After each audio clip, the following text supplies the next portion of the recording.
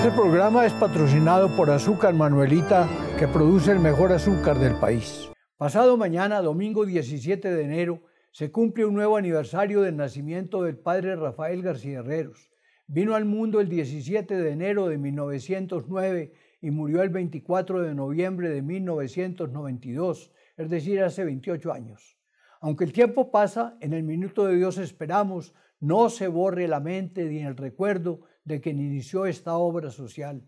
Primero con un breve programa de radio que pasó a la televisora Luego con la construcción de viviendas que se complementaron con obras de educación, escuelas, museo, universidad. Luego nacieron obras dedicadas técnicamente a formar trabajadores del campo, la ciudad, cooperativas y sobre todo la animación de obras espirituales. Roguemos por él. Dios mío, en tus manos colocamos este día que ya pasó y la noche que llega.